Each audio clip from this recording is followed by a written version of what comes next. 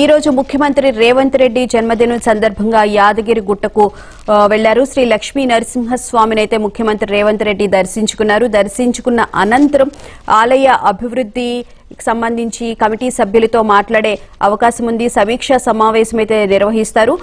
అక్కడి నుంచి ఆ తర్వాత రోడ్డు మార్గంలో సంఘంకి బయలుదేరి వెళ్తారు. సంఘం నుంచి మూసి పాదయాత్ర అనేది ప్రారంభమవుతుంది. మూసి వెంట భీమలింగం వరకు రెండున్నర కిలోమీటర్ల మేర ఈ పాదయాత్ర అయితే కొనసాగుతుంది అని చెప్పి మనకు తెలుస్తోంది. అలాగే ధర్మారెడ్డిపల్లి కెనాల్ కట్ట వెంబడి సంఘం నాగిరెడ్డిపల్లి రోడ్డు వరకు ఈ పాదయాత్ర అయితే కొనసాగుతుంది. మూసి పునరుజ్జీవన సంకల్ప రథంపై నుంచే సీఎం ప్రసంగిస్తారు అని చెప్పి కూడా మనకి వార్తలు వస్తూ ఉన్నాయి. సీఎం రేవంత్ రెడ్డితో పాటు కొంతమంది మంత్రులు ఆ ప్రజా నల్గొండ జిల్లాకు చెందిన ప్రజా ప్రతినిధులు కూడా ముఖ్యమంత్రితో పాటు లక్ష్మీ నరసింహస్వామి దర్శనానికి అయితే వెళ్ళారు ఇక ముఖ్యమంత్రికి సంబంధించి జన్మదిన శుభాకాంక్షలు బీఆర్ఎస్ వర్కింగ్ ప్రెసిడెంట్ కేటీఆర్ కూడా తెలియజేశారు జన్మదిన శుభాకాంక్షలు. దాంతో పాటు నేను హైదరాబాద్లోనే ఉన్నాను.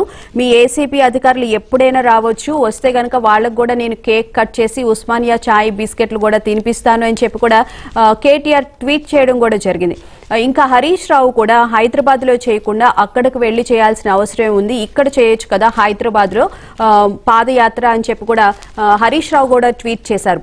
మనం చూస్తూ ఉన్న విజువల్స్లో ముఖ్యమంత్రి రేవంత్ రెడ్డి లక్ష్మీ నరసింహస్వామి ఆలయానికి వెళ్ళి అక్కడ పూజాది కార్యక్రమాల్లో పాల్గొన్న తర్వాత టెంపుల్ డెవలప్మెంట్ అథారిటీతో సమీక్షా సమావేశం నిర్వహించే అవకాశం ఉంది.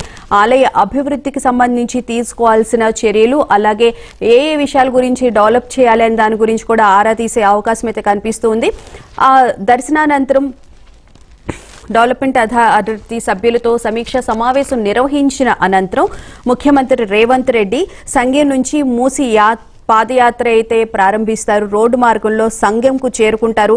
అక్కడి నుంచి భీమలింగం వరకు రెండున్నర కిలోమీటర్ల పాదయాత్ర చేస్తారు. ధర్మారెడ్డిపల్లి కెనాల్ కట్ట వెంబడి సంఘం నాగిరెడ్డిపల్లి రోడ్డు వరకు అయితే ఈ పాదయాత్ర కొనసాగుతుంది. మూసి పునర్జీవన సంకల్ప రథంపై నుండే సీఎం రేవంత్ రెడ్డి ప్రసంగించే అవకాశం అయితే కనిపిస్తుంది.